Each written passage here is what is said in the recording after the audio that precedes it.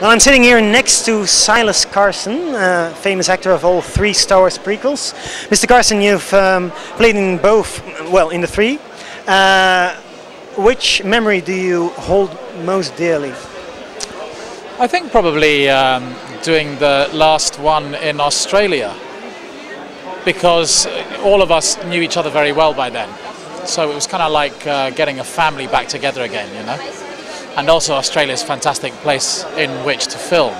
And we were out there for three months, so we spent a lot of time drinking and shooting pool and, you know, in, enjoying our time out there.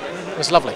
Um, do you actually know why you, as one of the few British actors, uh, were picked ahead of the Australian actors? You know, the thing about it is that I had already yeah, played the three the yeah, three sure. characters and done their voices in England. Mm-hmm. So it was a question of, of you know continuing those roles. You know, so there wasn't much point in, in casting somebody else and casting somebody else to do the voices as well because it wouldn't have been consecutive. Was it just a case of availability? I mean, were you available or did you have to say no to other projects when Lucas asked you for the film? Uh, no, I I was able to move a lot of my filming dates around because I was doing a television series in England and I was doing a movie in Germany. So it was exhausting because I was flying back and forth from Australia and they had to move the dates around a lot. The third one, uh, they just booked me for, for two months and I stayed out there the whole time because it was too exhausting to keep coming back. Mm-hmm. Um, do you actually consider it the current high point in your career, the three Star Wars prequels, or you don't? Um, it's funny because uh, you know Star Wars exists in perpetuitum for everybody else, but for me, it's a job I finished filming what seven years ago. So I've kind of moved on since then. I wouldn't say I don't. I don't really pick any job as a highlight because everything's so different. You know, you, I couldn't compare doing Star Wars to doing uh, a different live action movie.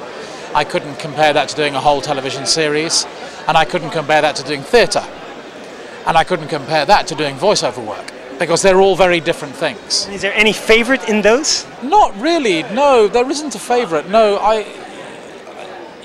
You you tend to want to do something different. So, the last three or four years, I've been doing a lot of television work. And uh, in the last two years, I did a couple of theatre jobs because I was getting very tired of doing television, and you know, you, you want to regenerate yourself. You know, so I don't have a favourite, but there comes a point at which, when you've done a lot of film, you want to do some TV. When you've done a lot of TV, you want to do some theatre. When you've done a lot of theatre, you want to do voiceover work. So it's a question of keeping the variety up. But I don't really have a favourite. No. When I think of British television, I think the first words that come to my mind is the classics like Monty Python, Fawlty Towers, yeah. uh, even the comedy series like Allo Allo. Yeah. Um, what did you, uh, as a child, enjoy most, and what, well, made you choose this profession? You know, this is a strange thing to say. Uh, I never used to watch a lot of television as a child, and I still don't watch very much television nowadays. My favourite program when I was a kid was Starsky and Hutch, and I hardly ever went to the cinema. And you won't believe this if I tell you this, but I never saw Star Wars. Prior to filming the prequels? Prior to filming the prequels. Well, I did. I watched them all a week before I was due to start filming on video. I had never seen them. I just didn't go to the cinema much as a kid and I didn't watch television. I used to read a lot of books. But the thing that got me into um, acting was when I went on stage in school. Uh, the school I went to, they always used to do a, a school musical and a school play when you're in the sixth form, so kind of age of 16, 17. And I went on stage and just fell in love with it. So it kind of happened by accident, really. You know, which which is a shock to a lot of people because a lot of people think, you know, you played three, four characters in Star Wars in all three films, you know. So you must have always, you know, loved Star Wars. Did Mr. Lucas ever find out about your lack of Star Wars knowledge? I, I told him in the interview okay. before when I actually did the audition. And I think that's what he liked about me because most people, you know, most people who who've worked on Star Wars really, really wanted to be in the movies and were great Star Wars fans. And I told him straight up, I said, I've never even seen them. He said, Really? I said, Yeah. He said, You must be the only person in the world who's never seen them. I went, Well, you know. I'm sure he appreciate he appreciates your honesty. Um, final question. Uh, I think maybe your most famous character is Ki-Adi Mundi.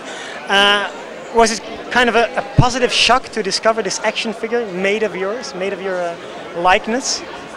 No, it wasn't a shock. No, look, Star Wars was built on the franchise, wasn't it? I mean, that was, you know, that was. I mean, just the fact of being able to hold yourself, a small version of yourself. Well, it's kind of weird. yeah, it's kind of weird. And somebody did do the the guy who made all of the models. Uh, did do a prototype of, of this character, Lieutenant Williams, who is actually me. Yeah. You know, uh, it didn't. They in the end they didn't sell, but I have a prototype model, and that's really weird because, you know, Ki-Adi doesn't look like me, Nute Gunray doesn't look like me, but I've actually got on my mantelpiece a model of me, and that's really weird.